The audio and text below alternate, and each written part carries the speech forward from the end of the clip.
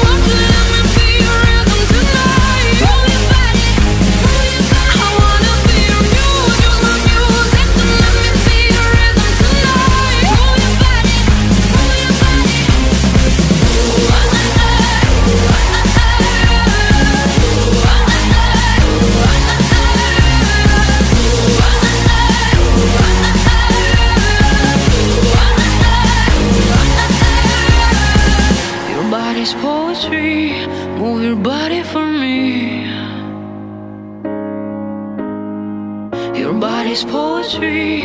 Move your body for me.